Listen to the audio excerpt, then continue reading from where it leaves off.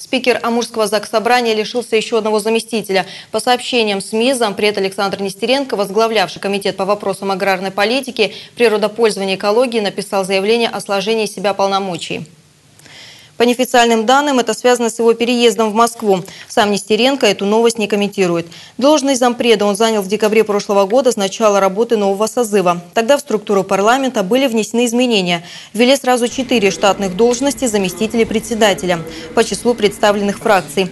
Однако потом двоих из них сократили, и свои посты потеряли либерал-демократ Сергей Абрамов и коммунист Роман Кобызов. В отличие от экс-зампредов, единорос Александр Нестеренко покинул свой пост добровольно.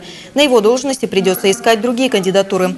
При этом мандат депутата за ним остается. Он сможет принимать участие в работе Амурского парламента. Очередная сессия Заксобрания пройдет 26 апреля.